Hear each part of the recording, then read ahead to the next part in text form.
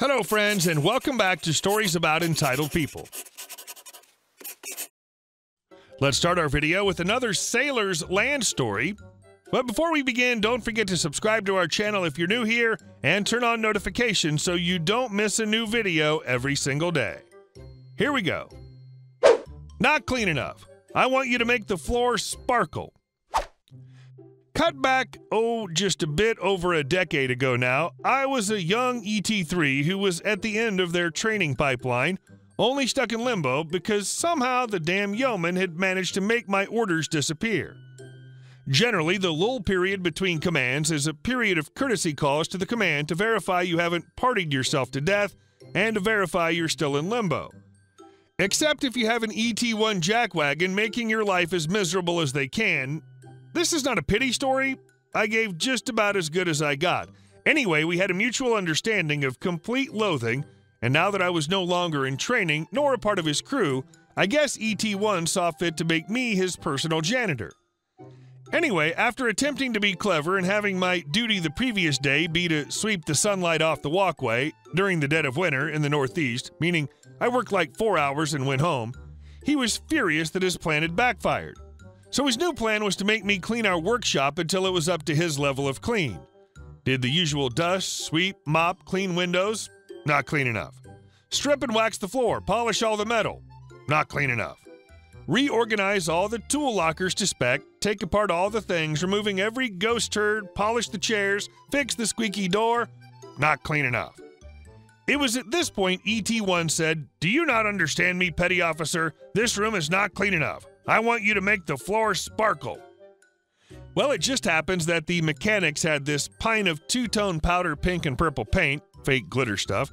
I didn't ask why, only found it and pretended I didn't.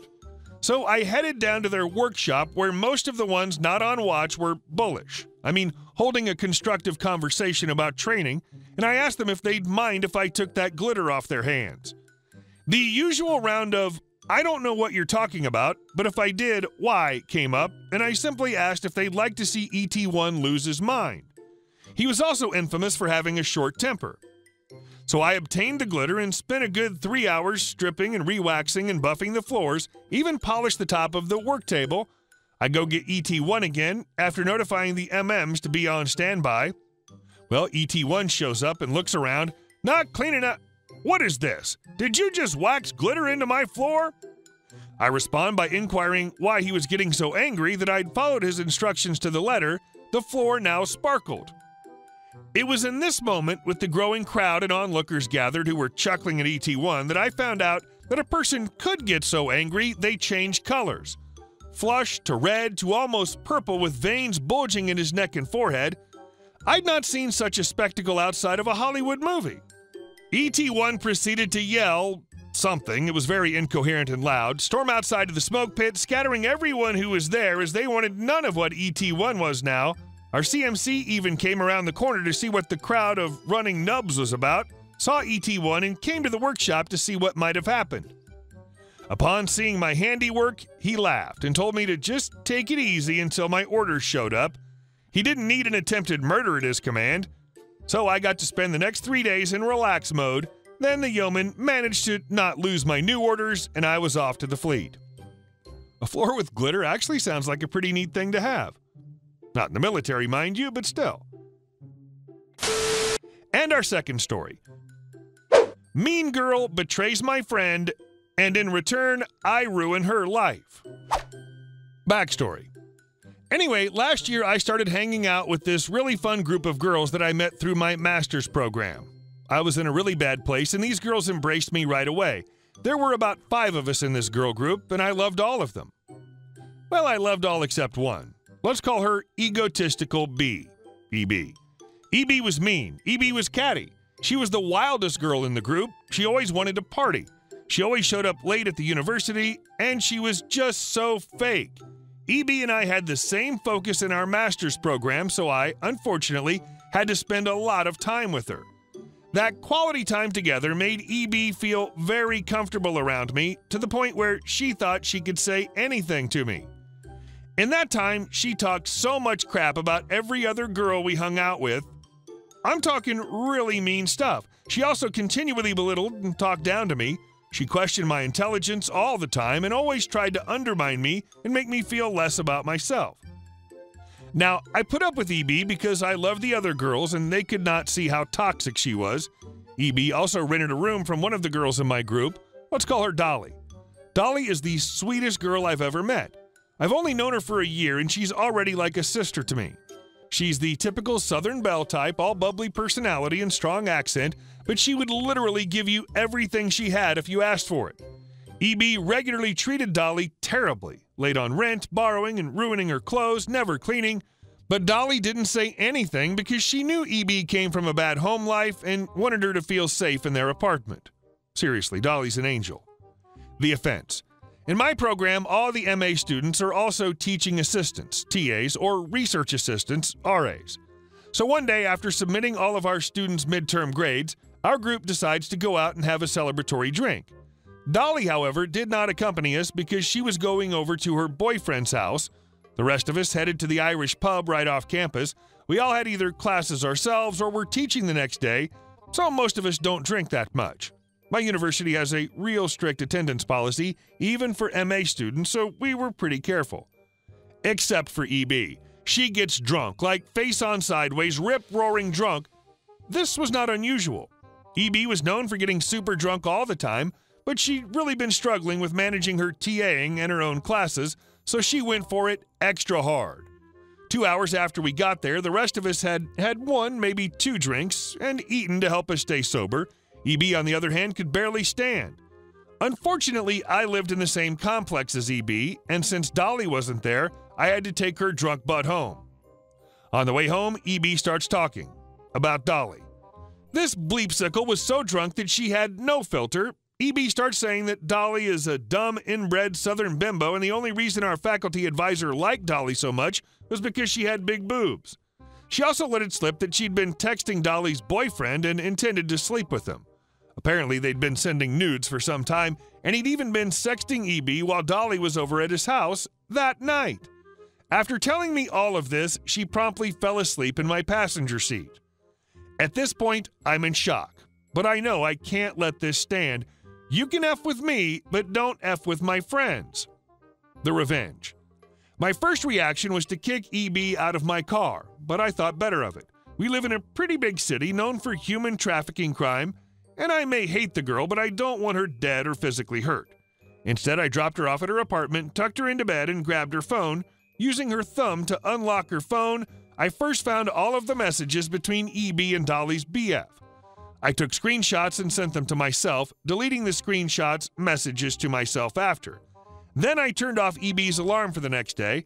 As I mentioned, my university is very strict about the attendance of their students, and I knew for a fact that EB already had at least two warnings regarding missed or late classes.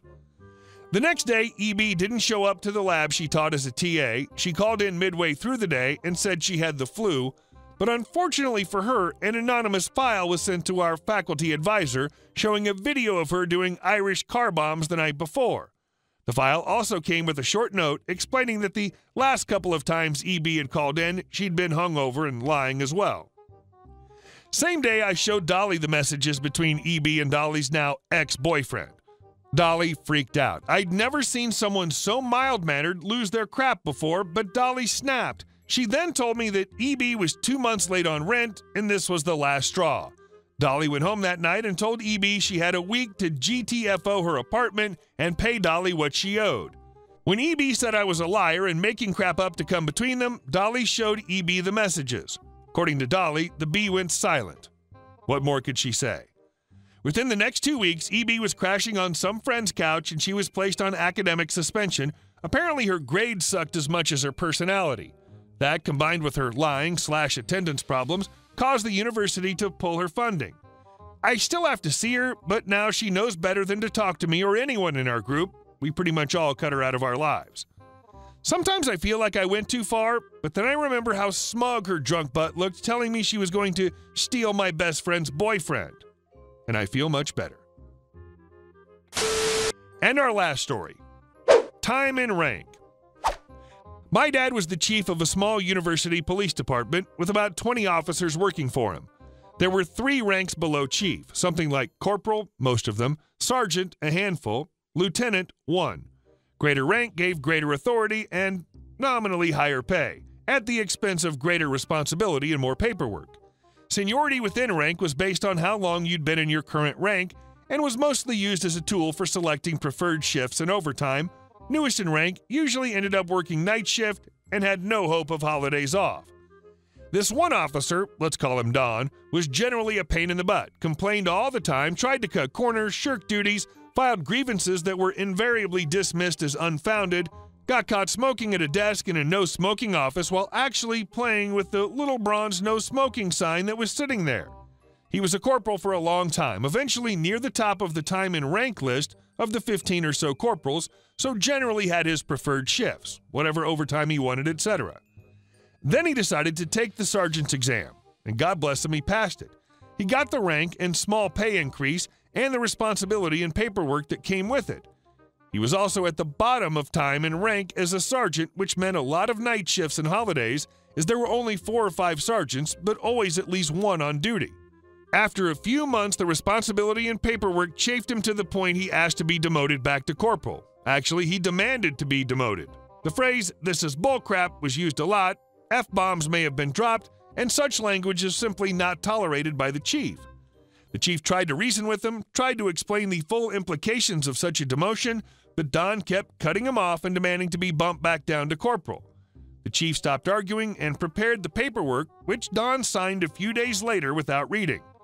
Note it was all perfectly normal change in rank paperwork, spelling out the details. There were no special little gems added for Don's benefit, the only difference is that the forms were normally used to change a rank up, not down. And so Don got his wish and was bumped back down to corporal, giving up the authority of a sergeant, but also giving up the responsibility and extra paperwork he hated. He probably already knew he was giving up the smallish pay increase and went back to his previous salary.